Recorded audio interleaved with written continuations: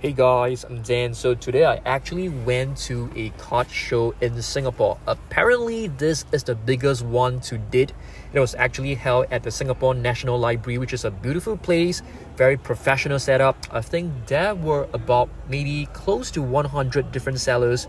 Majority of them, I would say 99.9% of them are selling Pokemon cards because Pokemon scene in Singapore is actually incredible. It is really huge. You can see different stores selling like different singles. Majority of them are selling Pokemon cards. There were some One Piece and other TCG. This one, it's basically selling One Piece slabs. Really beautiful setup right over here. Alright.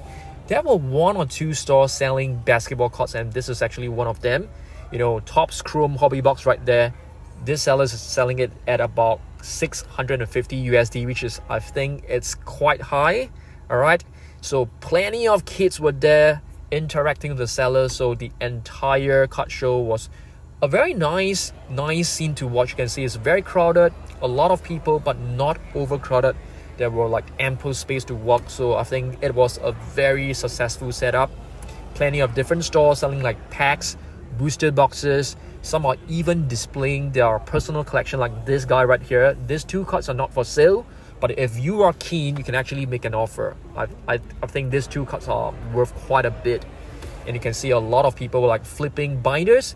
This store is the one that really interested me because it is the only store that sell basketball cards single. I was actually interested in one of the Victor Wembanyama Prizm Ruby Wave PSA 10, but the seller was selling it at about um 800 USD, so that is definitely out of my budget. So beautiful slabs, not too many cards that were of interest to me, but I actually picked up an Ant-Man lottery ticket at about 30 USD, which I thought was quite a good deal for me. Yep, nice pickup. You know, I had to get some cards. There were plenty of stores. Some even came down from Malaysia. This was actually um, a seller from Malaysia. So very interesting to see that you know Malaysia sellers are also in Singapore promoting um, their products. Very interesting site. Plenty of binders. You can see a lot of people are interacting. There were even like cafes. There were also like tables offering like free cakes and snacks, which is very nice to see. So hopefully one day, you know, the basketball cards community in Singapore will grow. It is growing, but it's still very, very small. So hopefully one day, you know, at a card show like this, I want to see more sports cards, more basketball cards. I think that will be really, really interesting. But overall, I had a fantastic experience. Though I didn't really get to see a lot of basketball cards. This is another store selling a few basketball card singles.